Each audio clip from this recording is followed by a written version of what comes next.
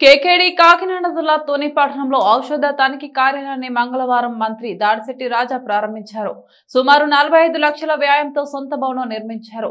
ఈ సందర్భంగా ప్రారంభోత్సవానికి చేరుకున్న మంత్రి దాడిశెట్టి రాజాకు తుని మున్సిపల్ చైర్పర్సన్ ఏలూరి సుధారాణిలు బాలుతో పాటు జిల్లా డ్రగ్ అధికారిని డి. నాగమణి తదితరులు ఘన స్వాగతం పలికారు. అనంతరం లాంఛనంగా మంత్రి ఈ కార్యాలయం ప్రారంభించారు. ప్రధానంగా రాష్ట్రంలో విద్యా వైద్యానికి ప్రభుత్వం పెద్దపీట వేస్తుందని మంత్రి దాడిశెట్టి రాజా పేర్కొన్నారు.